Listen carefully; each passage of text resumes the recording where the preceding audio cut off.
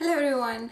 Okay, today I'm going to um, talk about, or I should say more like a review of the Burda style um, magazine where I managed to do a pattern from it. This is the first time I've ever done uh, a pattern using the Burda style, you know, magazine. So I'm not sure if many of you do know know about it. For those of you who enjoy, uh, you know, sewing patterns, you know, getting sewing patterns and making clothes out of sewing sewing patterns, this is a good good um, you know um, magazine to have actually. If you can subscribe, that would be very good because uh, not only does it have sewing patterns okay it also gives you an idea of the latest trends um, as you can see you know how you put certain outfits together. And also they also have you know uh, inspirational illustration pictures of the pattern that uh, you probably might be interested. Example let's say you like this dress and then it will give you the um, you know uh, technical drawing over here. And then it will give you the reference on uh, the paper pattern that you will have to you know basically trace from and uh, also suggestions of the notions and fabrics that you need to use. So I absolutely love this um, you know magazine and uh, I don't know why I subscribed I because the subscription was a bit expensive. So what I did was that I just uh, subscribed for six months. So my last issue was up till uh, which is actually up till not this one.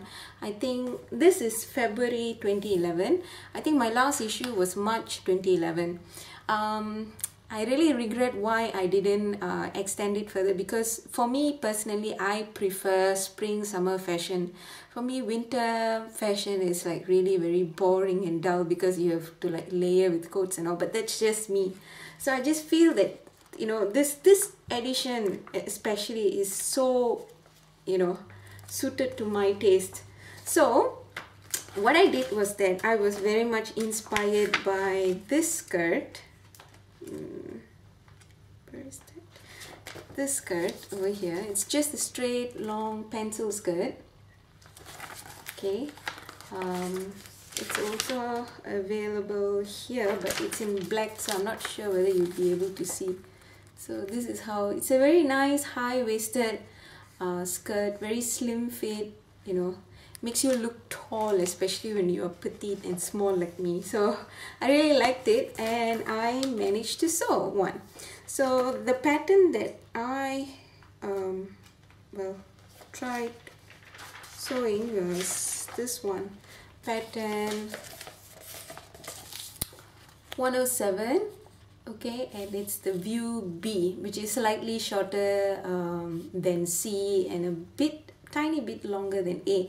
Actually, to be honest, I think I would have, you know, gone, I mean, I would have been okay if I chose the view A because what I did was that with the pattern, I didn't extend my hemline. Instead, I just cut where the pattern stopped and then from there I just folded about, I think, uh, to 4, 4 cm upwards and then I did top stitching with a jeans, you know, the jeans type of thread, you know, the thicker thread.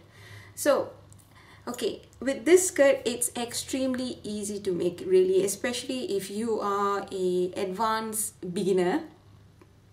Uh, why I say advanced beginner, I, I consider myself a intermediate uh, intermediate beginner only because I know how to sew I can draft I can you know put garments together but I still think I need fine tuning when it comes to uh, you know proper finishes and all so yeah so with this skirt it's just a simple uh, you know straight pencil kind of skirt you know pencil skirt so the only thing that I really don't like about Burda style, um, you know, patterns is that it comes like this, especially the ones that comes with the magazine. It's like this. It's like so many patterns in just one big piece of paper. So initially I was like, oh my god, where am I to find what pattern goes with what, you know? So you have to be very careful as in like you really need to read it a couple of times to understand. Okay example there is a uh, you know a guide a diagram over here where it says uh, green pattern line sheet C.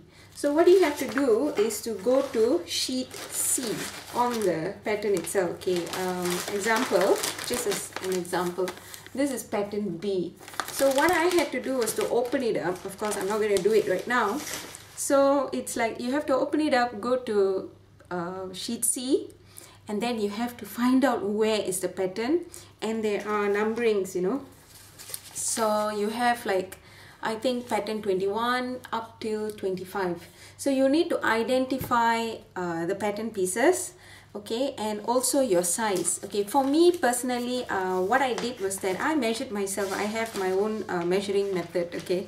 Well I mean I basically followed um, or I should say I have my own measure measurements taken just like um, maybe one month ago so I just use that as a reference.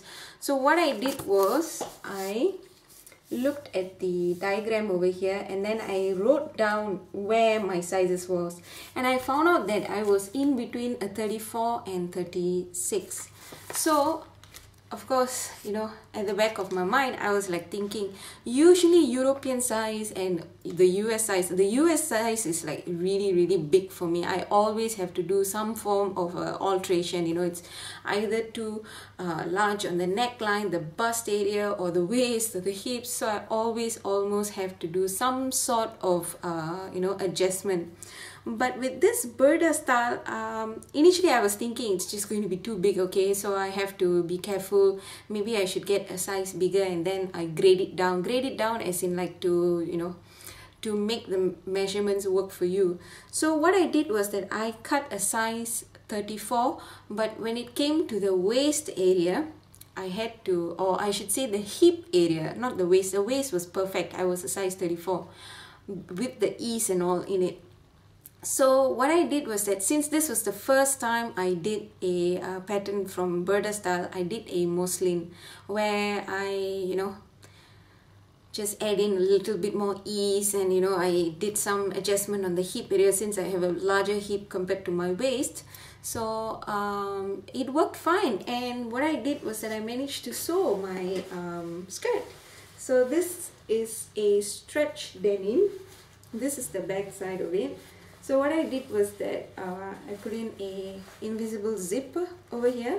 Based on the pattern recommendation, it says that uh, you should use lining. But you know, since this fabric is quite thick, I did away with the lining. Instead, I just um, made sure that I overlocked the inside, you know, made sure that it was all clean, ironed it properly and tried to do proper finishing inside, okay?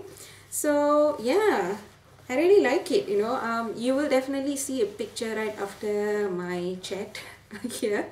And uh, and let me know what you think. Uh, overall, for me, I really, really like, uh, I mean, my first try with Burda style, you know, the sewing pattern, it seemed to have worked fine. Um, but I wasn't very happy with the instructions. I just felt that the instructions was like half past six and it wasn't really very good. It was just saying, oh, sew the side, base this, base that. For a visual learner like me, it's a bit, it was a bit difficult, but since I already have some experience, I just managed to put it all together based on the knowledge that I acquired, you know, with the years of experience that I have in the sewing uh, part so yeah i really liked it you will see the pictures right after this uh, clip so stay tuned for that and thank you so much for watching. If you'd like to know um, you know if you have any questions not if you like to know if you have any questions just leave it in the comment section and I will get back to you as soon as I can. So take care now. See you guys later. Bye